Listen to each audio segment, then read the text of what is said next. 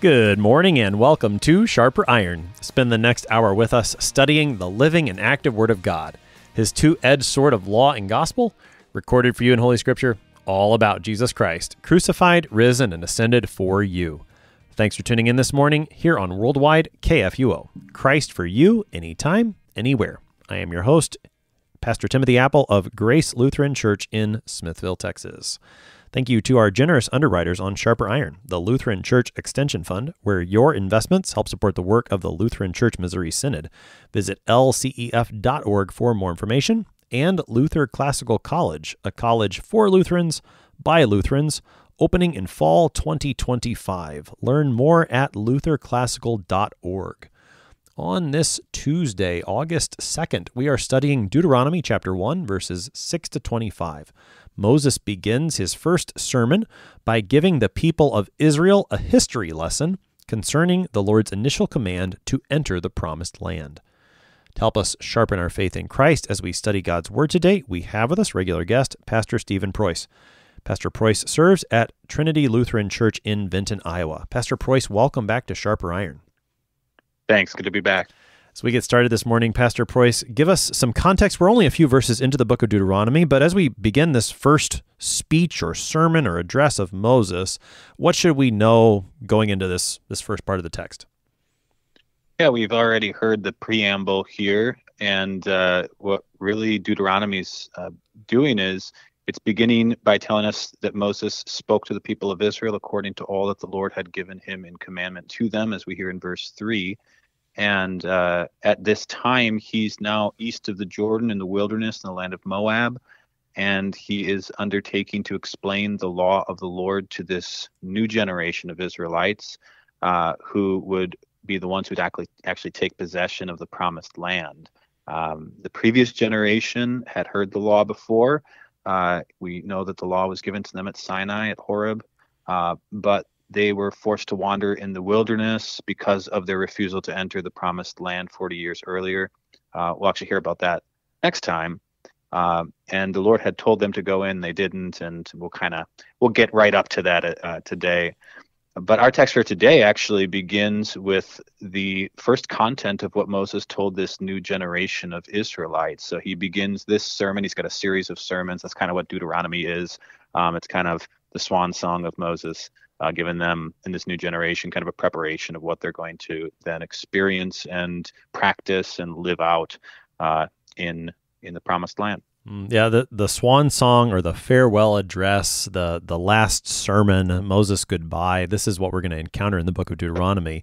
And as as we said in the introductory program yesterday, almost the whole book of Deuteronomy is sermons or addresses of Moses. If if we were to you know, I mean, Jesus' words get put in red in the New Testament in some editions of the Bible. Maybe if we were to put Moses' words in blue or something like that, it'd be a lot of blue words. Okay, this is this is all of Moses' words, which I, I think is sometimes a, a challenge for us as modern readers of the book of Deuteronomy. We we like the books of Genesis and the first part of Exodus where quote stuff happens.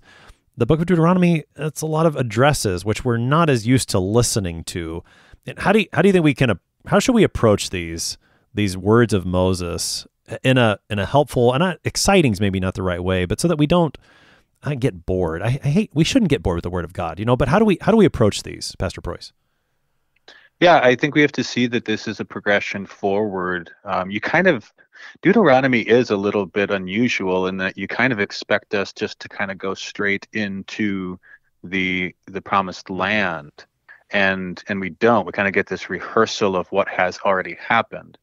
And and really the reason why is because he's explaining to them uh, the things that had already been explained to the previous generation before they rejected the covenant uh, and rejected the promised land and god made them wander for 40 years. And so now he's going to give to them exactly what he had given the previous generation and give to them the proper understanding of the covenant, uh, the stipulations for that, you know, the moral law, the ceremonial law, the civil law, things like that.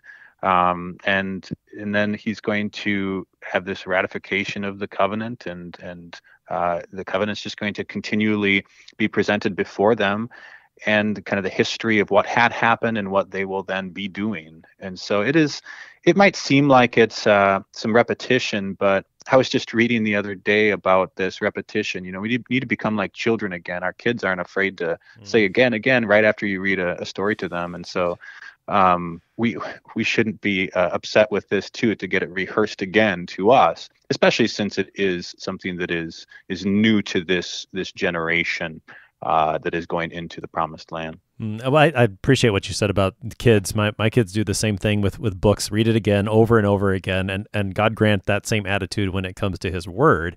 And, and as I've I've told the Bible class here in Smithville several times, you know, if, if God takes the time to repeat something in His Word, probably important and worth our time to read it and learn it twice or or however many times He repeats it. So so very yeah. very well said.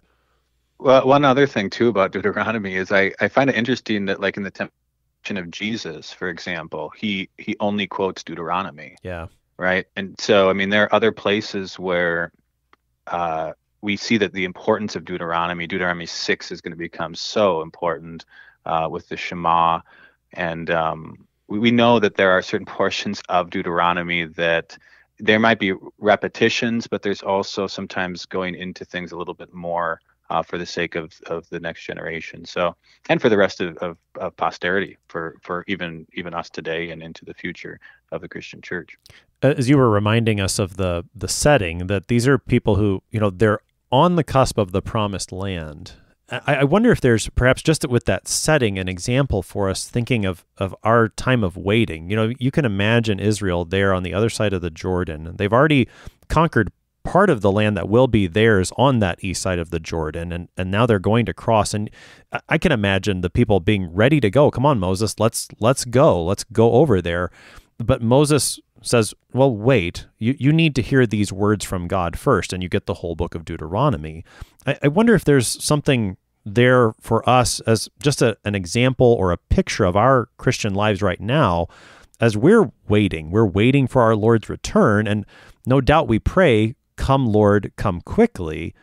But as we do what's what's the business of the the christian church? It is to be listening to the word of god waiting to go into the promised land of of the resurrection. I, I don't know. What do you think? Yeah that's great. I think that that's exactly it. Listen to sermons.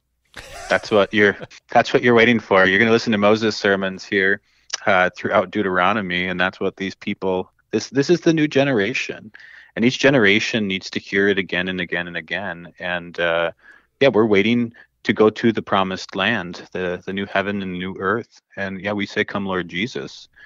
Uh, but in the meantime, we don't twiddle our thumbs. We are in great anticipation for that which is to come, but we have a lot of wisdom to learn mm-hmm. before we see wisdom himself. Mm-hmm. Uh, and so, yeah, this is this is a good kind of parallel to what we are experiencing. I like that take. All right, let's go ahead then and jump into Moses' first sermon. We're picking up the text in Deuteronomy 1, verse 6. Uh, the, the previous verse said, Moses undertook to explain this law, saying, and this is where verse 6 starts. The Lord our God said to us in Horeb, You have stayed long enough at this mountain. Turn and take your journey, and go to the hill country of the Amorites, and to all their neighbors in the Arabah, in the hill country, and in the lowland, and in the Negev, and by the seacoast, the land of the Canaanites and Lebanon, as far as the great river, the river Euphrates. See, I have set the land before you. Go in and take possession of the land that the Lord swore to your fathers, to Abraham, to Isaac, and to Jacob, to give to them and to their offspring after them. At that time I said to you, I am not able to bear you by myself. The Lord your God has multiplied you, and behold, you are today as numerous as the stars of heaven. May the Lord, the God of your fathers, make you a thousand times as many as you are, and bless you, as he has promised you. How can I bear by myself the weight and burden of you and your strife? Choose for your tribes wise, understanding, and experienced men, and I will appoint them as your heads. And you answered me, The thing that you have spoken is good for us to do.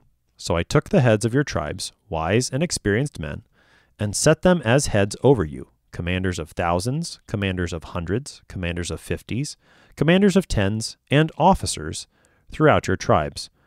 And I charged your judges at that time, Hear the cases between your brothers, and judge righteously between a man and his brother, or the alien who is with him. You shall not be partial in judgment. You shall hear the small and the great alike. You shall not be intimidated by anyone, for the judgment is God's. And the case that is too hard for you, you shall bring to me, and I will hear it. And I commanded you at that time all the things that you should do. Then we set out from Horeb and went through all that great and terrifying wilderness that you saw, on the way to the hill country of the Amorites, as the Lord our God commanded us. And we came to Kadesh Barnea. And I said to you, You have come to the hill country of the Amorites, which the Lord our God is giving to us. See, the Lord your God has set the land before you. Go up, take possession, as the Lord, the God of your fathers, has told you. Do not fear or be dismayed. Then all of you came near me and said, Let us send men before us, that they may explore the land for us, and bring us word again of the way by which we must go up, and the cities into which we shall come. The thing seemed good to me, and I took twelve men from you, one man from each tribe. And they turned and went up into the hill country, and came to the valley of Eshcol, and spied it out. And they took in their hands some of the fruit of the land, and brought it down to us, and brought us word again, and said, It is a good land that the Lord our God is giving us. That takes us to the end of our text for today, the middle of chapter 1. That's Deuteronomy 1, verses 6 to 25. So Moses begins with a history lesson. We get a, a lot of previous history from the first four books of Moses are going to show up in this first address of Moses, which we're beginning today. Uh, what, how does Moses start his sermon? What's, what's his introduction in the first couple verses of, of our text? Yeah, in the first couple of verses, we we talk, we see him talking about how, and you know, these are the first words that he actually is speaking to them. Uh, he says that the Lord our God said to us in Horeb, "You have stayed long enough at this mountain, and then turn and take your journey, go to the hill country." And he starts uh, describing this land, and and so what he's doing here is he's actually describing the vastness of the promised land to them, and um, the Lord had told Israel at, at Horeb or at, at Sinai to leave the mountain, journey to the promised land, take possession of it. And this land is the, the, the land that the Lord promised to Abraham, Isaac, and Jacob. We hear that repeatedly. And uh, we know that from, from the book of Genesis, of course. And here in Deuteronomy 1, we actually have the broadest description of the boundaries of the promised land given to us hmm. uh, in scripture you also you know it's it's uh, very much the same dimensions that you get uh, given to abram as well but here it's very specifically described and so you have the hill country of the amorites and all their neighbors in the arabah uh, this includes the area to the the west of the Dead Sea, the area running north to south through central and southern Palestine, which was later allocated to the tribes of Ephraim and Judah. You have the, the hill country and the lowland. It refers to the area of the Shephelah, which is a, a hilly region in Judah uh, between the central highlands and the, the Mediterranean. And then you have the Negev or the Negeb. Uh, it's this hot, dry desert area in, in southern Palestine. It borders the even drier area of the wilderness of Zin, which is which is just south of it. Uh, then you have by the sea coast that refers to the southern coast of the Mediterranean Sea, uh, and you have the Philistines who, who, occupy that area, and then you have the land of the Canaanites in Lebanon as far as the great river, the river Euphrates, and that's everything then north of Philistia and the Negeb, all the way like 200 miles north and east uh, until you get to this western fork of the Euphrates River and that would then flow east to the Persian Gulf. So um, it's kind of hard to paint the map uh, uh, on on uh, just listening to it, but um, take a look at the map and just see this is a, a vast land that the Lord was promising them, and He is repeating the promised land and in in great detail here, uh, showing that He knows exactly the land that He has promised to Abram, and that it has not. He has remembered this, and it is going to be given to them just as He said. Um, now, just to note, we only see Israel actually take full possession of this whole area in the future, as as is actually described here during the reigns of of from King Saul and King David and King Solomon. So um, we know this isn't isn't some sort of a vacant land where they just kind of come in and pitch their tents. Uh, they actually had to fight for it, and we know the Lord's on their side as they do that. So uh, there is a lot here just describing all of this as you look into then the rest of, of the history of the people of Israel.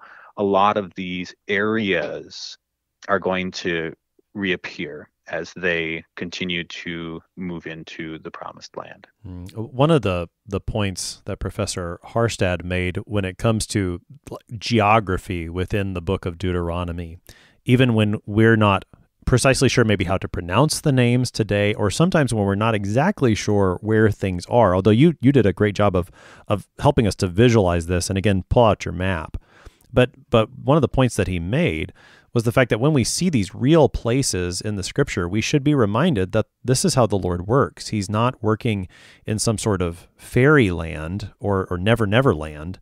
He's actually working in real places with real people doing actual things in history. And, and this should bring us great comfort. So, so, I mean, more so than even just beyond the actual land that's there, just the fact that, as you said, God remembers his promise. This is a very although it may seem strange to us, theologically, this this strikes me as a very gospel centered approach to the beginning of Moses' sermon, if I can put it that way. Yeah, yeah. I mean, the the inheritance is uh, the the promise. You know, the covenant was made, and the Lord made the covenant with Abram, and it was a, a one sided covenant that the Lord uh, would actually you know, as he passed through uh, the animal uh, at night as the light and said that he would die if he would break this covenant. And he promised to Abram to make of him a great nation and to give him this land. Uh, as well as the, the promise of the Messiah, of course. And so, this land being given to them uh, in conjunction with the covenant to Abram, uh, to Abraham, Isaac, and Jacob, is, is very much a a uh, concrete realization of God fulfilling His promise in time, and um, ultimately pointing, as we know, to the new creation and, and and what we will inherit as the meek who inherit the earth, the new heavens and the new earth. Hmm. Uh, the other thing that stands out to me about Moses Moses' introduction here is the the matter of timing that he brings up at the beginning. So in, in verse six, the Lord our God said to us in Horeb, this is he's rewinding the clock 40 years. They they were in Horeb 40 years ago. That's when they were out Mount Sinai. And the Lord says here, you know, you've you've been here long enough. Uh, the the I think the the gospel again reminder that we see here is that they are where they are at the Lord's direction and guidance. I think that's one of the things you see throughout the narrative, particularly in the book of Exodus, but also as it, it continues forward is that the people go where they go and they go when they go at the Lord's direction. And having that reminder at the beginning of the book of Deuteronomy, I think is is important for this new generation that, as we said, maybe is very eager to enter the promised land, but first listen to these words of Moses and and rem- receive this reminder who's the one who's been leading you all along, who's been making his promises and remembering his promises, and now he's going to be keeping his promises.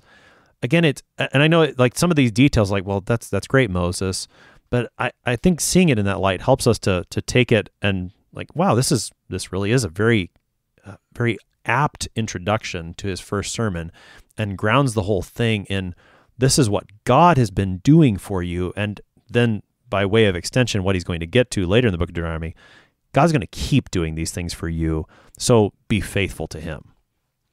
Yeah, yeah. I mean, it's and it's quite the comparison to what the previous generation had done. I mean, it, the Horeb to Kadesh Barnea is it would take 11 days on foot. So why did it take him 40 years? That's right. you know, it's because the Lord is in control, and and what's it's kind of the opposite with this new generation who's got this anticipation to go in.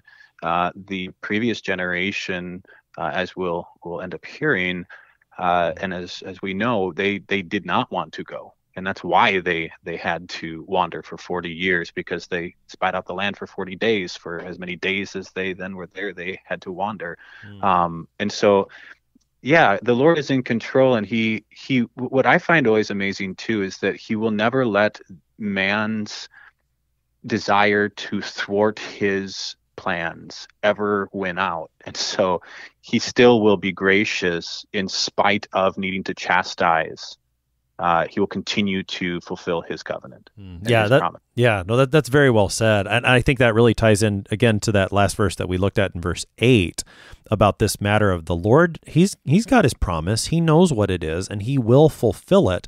And and as we'll we'll see as this sermon progresses, you know, the people are going to rebel. We know how this story does go, but God is is set out from the get go as the faithful one, the one who has cared for his people, the one who remembers his promise, the one who will fulfill his promise.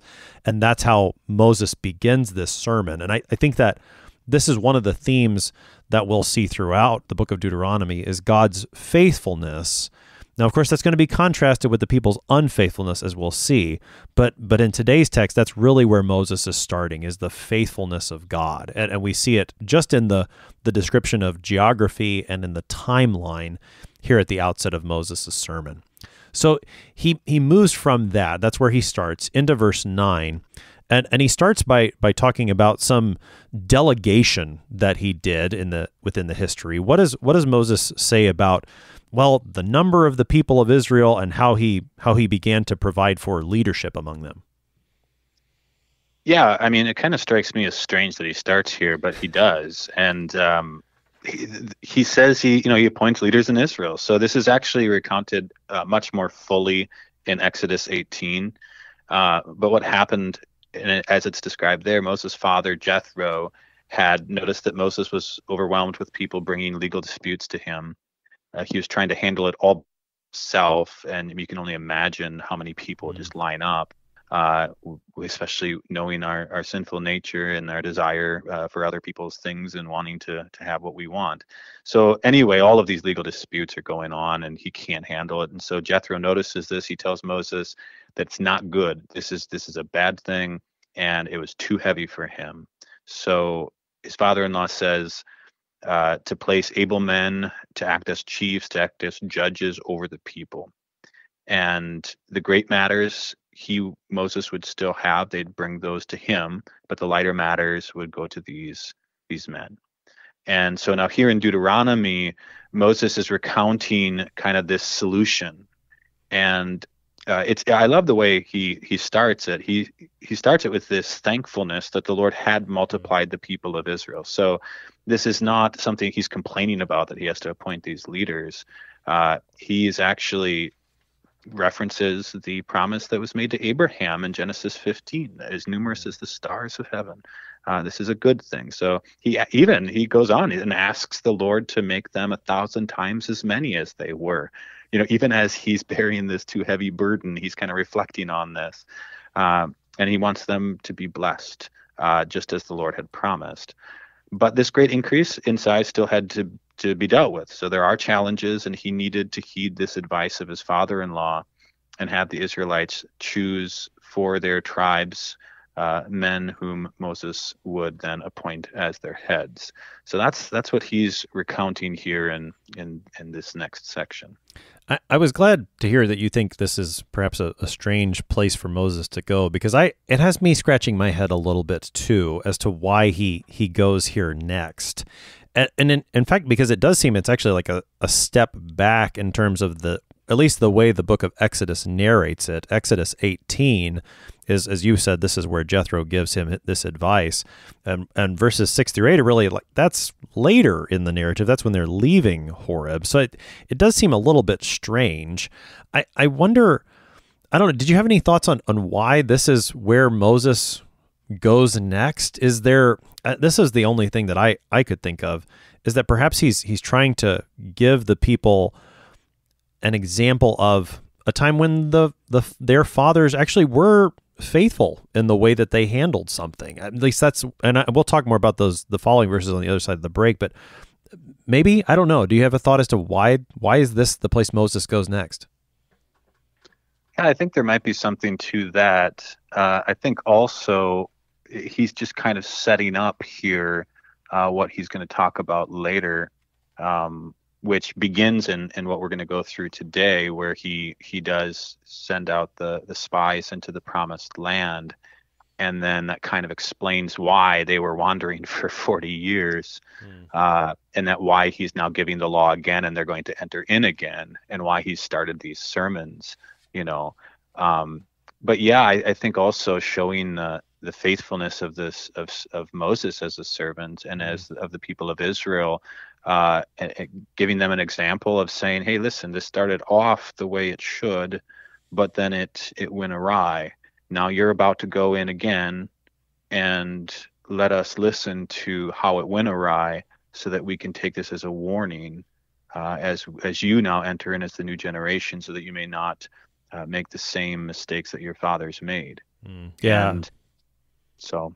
Yeah, well, and I think uh, what you said too about like verse 11 the the prayer of Moses and the thanksgiving of Moses in, in verse 10 for what the Lord had done that the fact that the people have grown and that this generation is standing here ready to enter the promised land this too is evidence of God's faithfulness to his promise now it did present this challenge that Moses needed to deal with and he did so with with wisdom given to him by his father-in-law and I would say this is godly wisdom that's shown but again yeah. we see we see an example of God's faithfulness to his promise yet again here at the beginning of, of Moses' sermon. So we're going to keep looking at this part of the sermon on the other side of the break. You're listening to Sharper Iron here on KFUO. We are talking with Pastor Stephen Preus about Deuteronomy chapter 1. We'll be right back. Please stick around.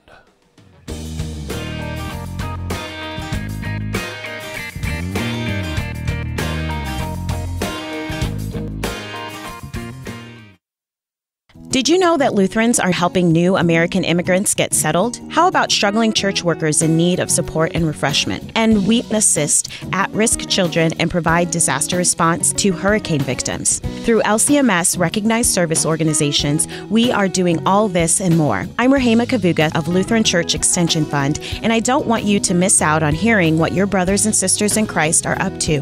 Visit interesttime.org to see how your support gives life to these works of mercy and love. What do you think of when you hear the word college? Expensive? Liberal? Woke?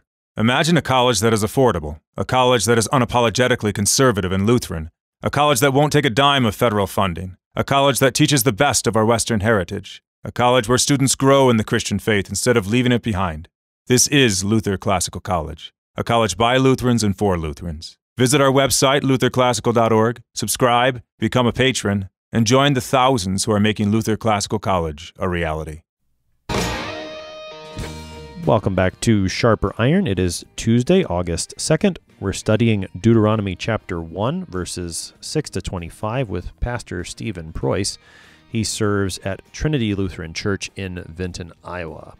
Pastor Preus, prior to the break, we've seen Moses recount the moment in Israel's history where God has been multiplying his people according to his promise given to Abraham. Moses is thankful for this. Moses continues to pray that the Lord would, would fulfill his promise. And yet he also recognizes at that moment, recounted in, in Exodus 18, that there's just too many people for him as one man to take care of. Now, it's it's not here in Deuteronomy 1, but it is there in Exodus 18 about his father-in-law Jethro and the role that he plays. He knows Moses knows he needs help. In Deuteronomy 1 we hear about how he went about doing that. So take us into and, and as you need to go to Exodus 18, stay in Deuteronomy 1. What happens? How does Moses go about getting the help that he needs in leading this large group of people? So you can kind of notice that he was meticulous and intentional with how he did it. Uh, the first thing that you notice here is that he he actually got the the agreement of the people. So he wanted them to choose these experienced uh, men, and uh, it's quite a, a, a wise leadership for him to urge them to to choose their own chiefs. Uh, and then obviously he's the one who's going to approve them. You know, the Lord chose Moses and so Moses knows this. He's been chosen. But Moses also had this respect for uh, the the people of the that the Lord gave him to serve, and uh, he delegated authority, and and then uh, they agreed. The thing that you have spoken is is good for us to do, and so uh, this is just kind of in in basic understanding within the church uh, and in general uh, that the way you rule can be done. There's an old distinction between ruling with authority and ruling with power, and mm-hmm. power will take, take, take, take, take, and authority will give and delegate. Uh, because you are actually showing trust in others who are then qualified, and, and you have some requirements as we'll discuss later. But it does show a wisdom uh, and a kind of a, a, gracious way of of not only trying to get things off his own shoulders, but actually wanting to to entrust this leadership uh, to others for the sake of the people of Israel. Mm, okay, so he he gets their agreement, and again, this is well, I, what I what I appreciate about this account is that on the one hand, this seems like just well, that seems like a really good idea. You know, I mean, it's just kind of basic, if I can say. Common sense is maybe not quite the right term, but like when you think about the opposite way that he could have done it and the the perils that that might have brought, if he just says, "You, you, and you, you're in charge," and and leaves it at that, you can see how that might have gone wrong. On the other hand, the way Moses approaches it, it has that again common sense. I'm not sure if that's quite the right term, but it, it's it's just wonderful. I think to see how kind of the the way that seems wise is actually godly wisdom. Like just the very practical nature of godly wisdom. I, I appreciate just that very basic point from this narrative. Yeah, absolutely. Uh, and it, it shows that too. He's I, I think emphasizing the fact that he, in his wisdom, is able to trust others. Mm. Uh, no man is is uh, an island, and and we do rely upon others.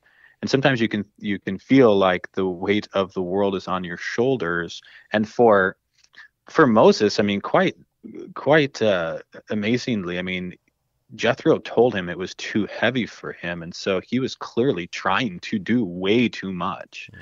And uh, it just is a, a, godly, wise thing. I mean, Jesus uses his apostles; he uses us in our vocations. We're, we, we are, we, we delegate authority to others to, and we know that it's all the Lord's authority, and and Moses does too. And so he'll have his proper supervision uh, but he's being wise in this as well, realizing who his head is. His head is the Lord, and now they see his, their head uh, as the Lord through Moses, and now there'll be heads here in in, in different groups as we'll see and, how he arranges them. Mm. So, what are the the requirements? the The way the ESV reads, he says, "Wise, understanding, experienced men." Why does the why does Moses set these requirements for those who will serve in these positions of leadership?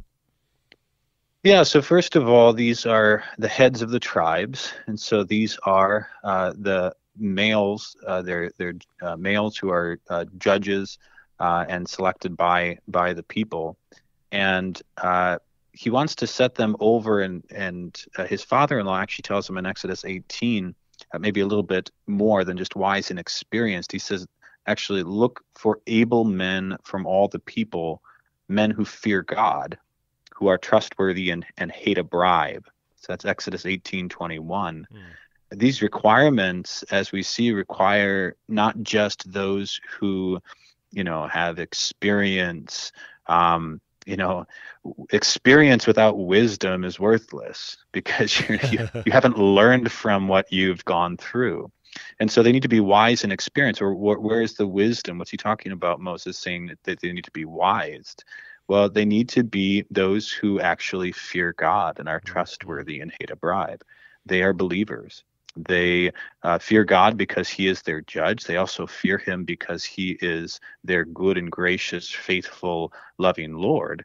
And uh, they do not want to disobey Him because they want to please Him as the one who has given to them the the promises uh, and this covenant and is going to give them the promised land. And so those who are actually clinging to the Word of God who are clinging to his promises, who fear, love, and trust in him above all things, uh, and are not going to try to, you know, advance themselves for the sake of themselves, uh, but will remain faithful to God and to to the Lord's promises uh, and to His word, and aren't going to be you know, convinced one way or another by somebody who might have some influence. Uh, these are faithful believers that he's asking for And you know, to to translate that into today, then I mean, you think about those who uh, I, I immediately think of like First Timothy three and, and mm. the requirements of the office of the ministry.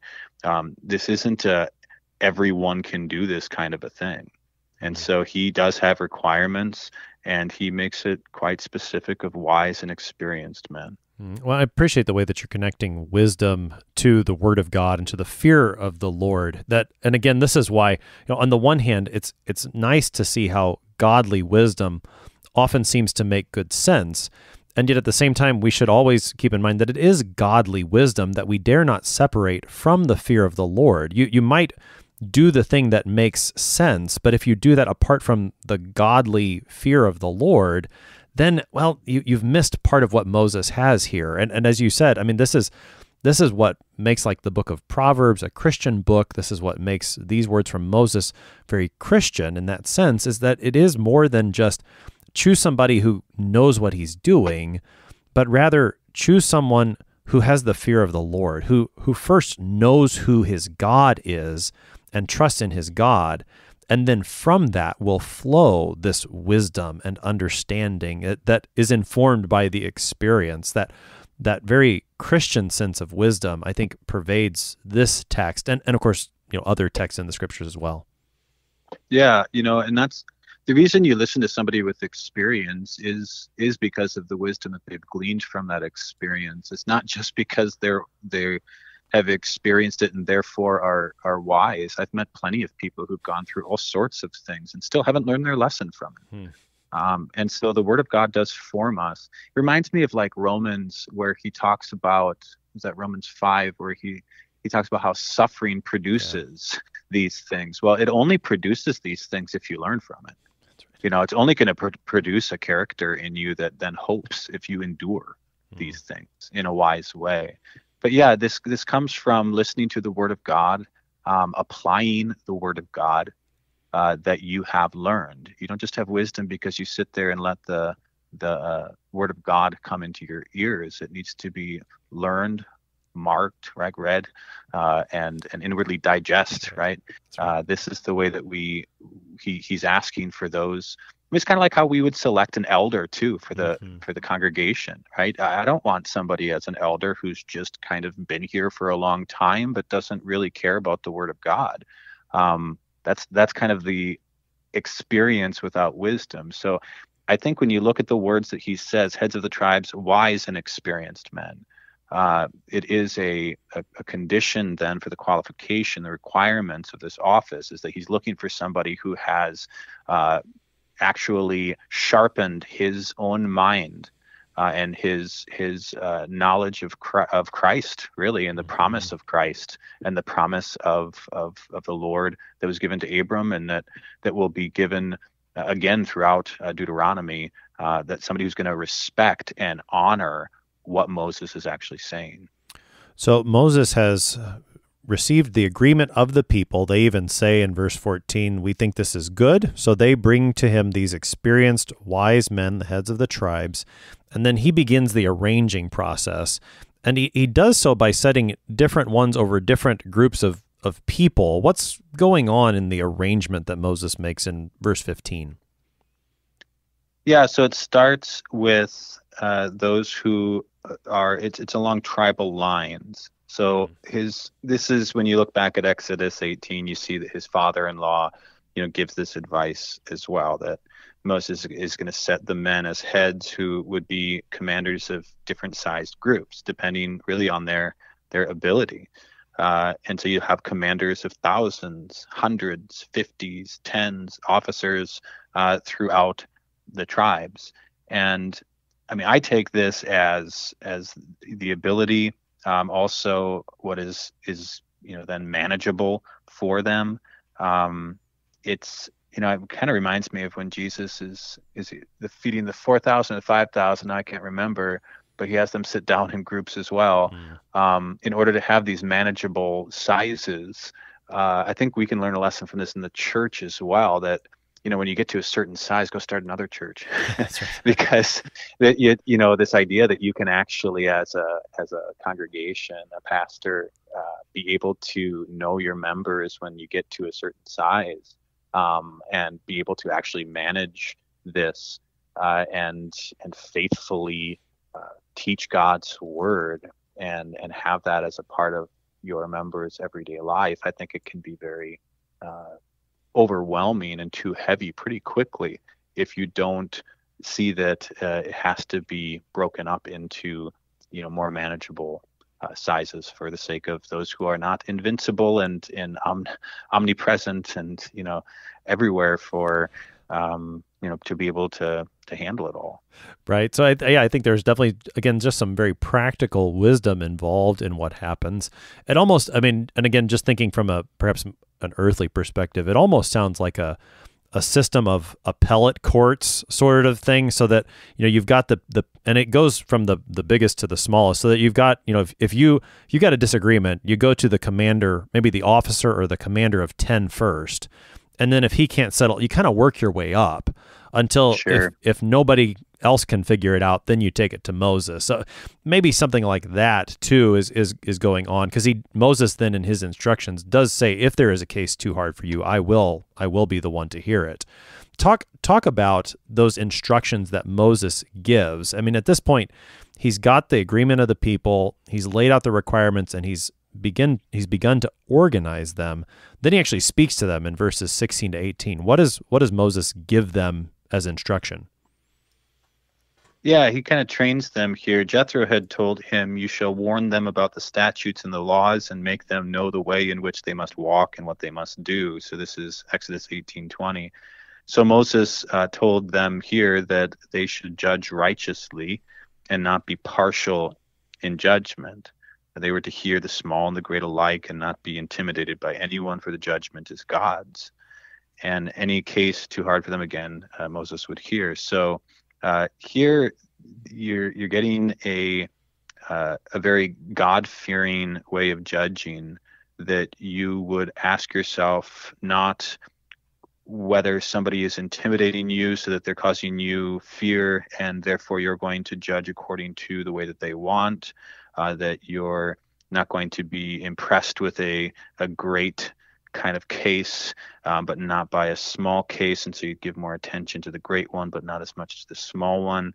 But you're going to instead be fearing God and you're going to be looking to Him and you're going to be judging righteously and not being partial in any way because you know that God is the one who is actually judging. And you need to take every single case that comes before you as important and as requiring uh, the uh, the right judgment that only God can give through His Word. So it's it's a reminder to them that the judgment is God's, uh, and that they are simply His mouthpiece, uh, and to then uh, make sure everything that they do is is not according to their own wisdom, but according to the wisdom that God supplies. I mean, this these verses that speak of the instruction that Moses gives to the judges seem very applicable in a number of respects to our own lives as Christians today. I think I think the book of James talks about the the need for not showing partiality within the church. And, and I mean, I suppose, you know, as as a pastor, I can read these verses and and think about the way that, you know, I would apply the word of God to those God has given me to care for in this congregation and, and how I, I listen to them and speak where God has spoken and, and not my own judgments, but his own. And I mean, other positions of authority, I suppose, similarly. How, how do we, thinking just in any Christian's life, how does the instruction that Moses gives here about you know not being partial and, and knowing that the judgment is God's, how do how does how does that apply in any Christian's life? Well, it really does come down to to fear, love, and trust in God, Mm. and uh, asking who do you want to please in life. And if you want to please God, then you will seek to do the things that are just, where you give a man his due, regardless of that man's influence, that man's wealth, that man's power.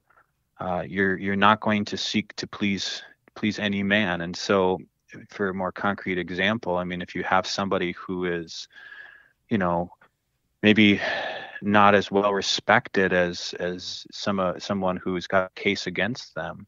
Uh, you you don't you don't judge based upon you know everybody's opinion of what is right and wrong. You judge upon the facts of the case, uh, and you say to yourself, "I'm going to allow what God says to to guide me." Uh, I'm not going to allow what what other people and popular opinion and and whatever pressure is coming to me from the world uh, influence uh, how I, I judge this case. And it takes a man of great integrity. I think that's another word to mm. consider that that you do the right thing even when no one's looking because God's always looking. Um, and not just as the God who will judge you, but as the God who wants to bring justice to the oppressed and to trust that that that's the God that you have is the God who is there for the needy and that if the one poor person is treated poorly whether it be by you know bad judges or by by whomever uh, the Lord is the only one who then is hearing the cry of that one poor person. So you better watch out because he's more powerful than all those people who you're trying to influence by your decisions. Mm. So, uh, you know, the Proverbs speak of these things as well. I think that uh, the training then here is to begin with the the cultivating of the the proper fear of the Lord as His dear children, who not only fear His judgment, uh, but know His judgment and know that He is a gracious and good God um, who provides this justice and equity for the for the oppressed. Mm-hmm. So, with those things in place, the Lord's command to leave Mount Horeb and the organization that's come through godly wisdom. Moses then continues by describing their journey. So they're going to go through from Horeb and then to that, as you said, that 11 day journey that's going to lead them toward the promised land. And that's going to take us to the end of our text for today. How does how does Moses recount now their journey to Kadesh Barn? I don't know if I'm saying this right. Kadesh Barnea. Yeah. So uh, the way there was great and terrifying. He says. So this is 100 miles in the dry, dry desert. Um, I mean, we're talking about stuff you wouldn't want to walk through. You know, sand, limestone, nothing good. The Lord's the only reason that they got through that, providing them with things to eat and drink and guarding them the whole way. So um, that's the first thing to see is that uh, their travel there was was quite uh, treacherous. Um, the second thing there is that Moses re- reminded them there then at Kadesh Barnea that the Lord was was giving this land to them by His grace. And so you hear him say, See, the Lord your God has set the land before you, right? It's already yours. It's there. Just go up, take possession of it, as the Lord, the God of your fathers, has told you. Do not fear or be dismayed. So there's this great courage that they are to have as they, mm. they go there and and receive that which is given to them. It's, it's a gracious thing. He, he has already promised this to Abraham. And the thing about God's promises is as soon as he promises something, it's, it's, it's, it's done. Um, because he, he is going to fulfill it. Uh, and so that's the way they can look at it. Uh, and then going on, the Israelites uh, wanted to send men to explore the land's routes and cities. Uh, we hear that they kind of grumbled in, in Numbers 13. This is also recounted. And so we hear that they kind of grumbled and the Lord said, Yeah, do this. And so Moses ends up selecting one man from each tribe to go explore the land. And they go to this the valley of Eshcol, which is, you know, got all sorts of wonderful good land. It's just north of Hebron. Uh, and so we're looking kind of going north from Kadesh Barnea um, through the Negeb and, and whatnot and they find this very good land. They gather grapes. Uh, we might remember the the two men who needed to carry on on the pole uh, the great uh, uh, grapes that were were brought from the land, and the pomegranates and the figs and so forth, and then took them back to Moses and the rest of the Israelites. And so we hear this in Numbers chapter 13. And interestingly, the way Moses actually talks about it here is he only reports the good stuff. And so the 12 spies gave a good report, right? And that's kind of how we're going to end this is it is a good land that uh, the Lord our God is giving us. There's a land flowing with milk and honey uh, is the way that Numbers 13 puts it. But we know also in Numbers 13 there's a little bit more to it than that because Caleb and Joshua were the faithful ones and uh, they wanted to follow the Lord to the promised land. Said, "Let's go up. We can take these people." But the others were afraid because the cities were great, the men were giants, and and whatnot. And that's kind of a teaser for next time here. But but that's what's going on here. He's he's recounting again this spying out of the promised land. So and and as you said, that's where our text ends, and everything. I mean, so far has been really kind of happy. This is good news. This sounds great. Like what what went wrong? Well, that's the question that we're going to answer as the sermon continues.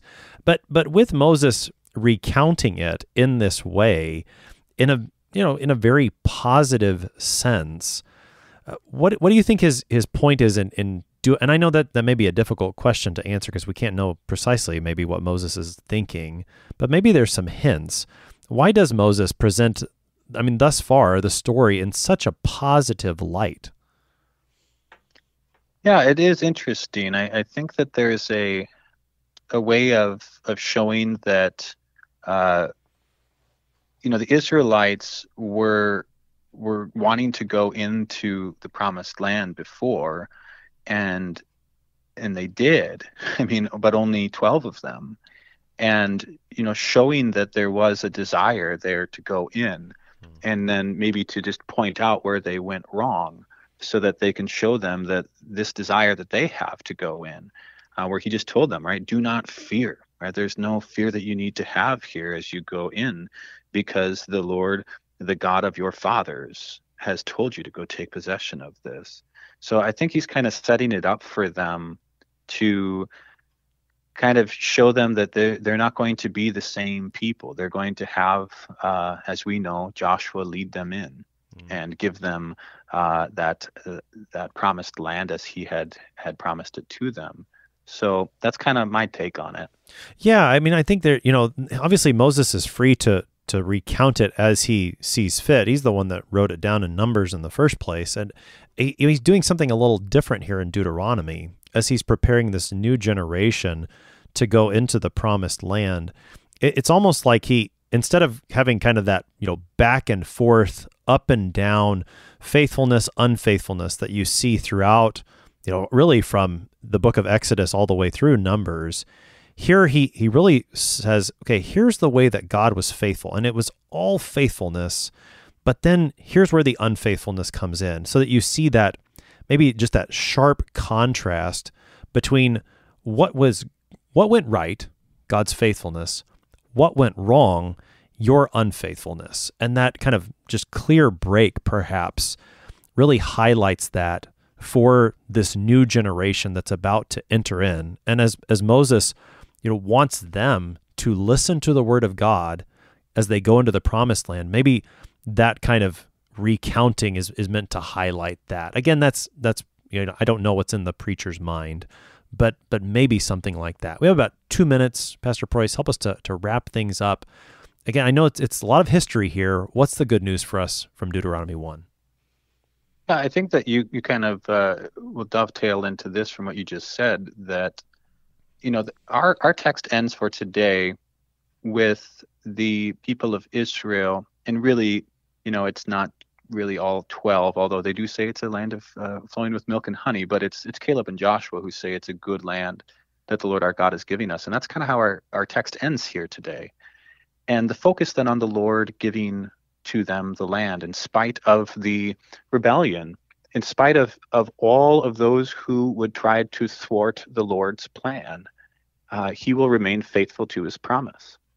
And I think that's a good way of for us to to look forward into the rest of Deuteronomy and just to kind of frame it in general is that whenever we we think about who the Lord is uh, and we think of of his name, we should always think about how he describes who he is. He is the Lord, right? So he's the one who exists uh, and always has and is is constant in everything that he does.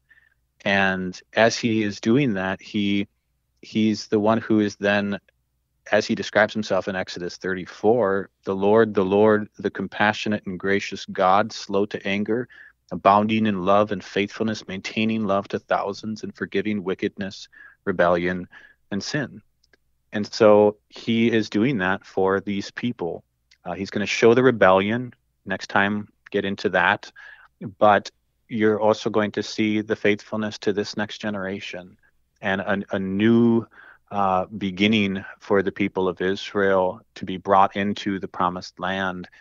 And doesn't that point us to Christ in that we have our new beginning being born uh, not of corruptible seed, but of incorruptible through the, the Word of God? Uh, to to know that He has brought us to the promised land through His great exodus uh, at the cross, where He died for us, and now He rose and is the first fruits to bring us then to to the new heaven and the new earth, our promised land that was promised to Abraham and is fulfilled there in in the great way that we know as as Christians. Pastor Stephen Preus is pastor at Trinity Lutheran Church in Vinton, Iowa, helping us today with Deuteronomy 1, verses 6 to 25. Pastor Preus, thanks for being our guest today. Thank you. The Lord is faithful to his people. He showed it on the way from Horeb to Kadesh Barnea. He shows it for us still today as we wait for his glorious return. I am your host here on Sharper Iron, Pastor Timothy Appel of Grace Lutheran Church in Smithville, Texas. If you have any questions about the book of Deuteronomy, send us an email at kfuo at kfuo.org. We always love to hear from you. Thanks for spending the morning with us. Talk to you again tomorrow.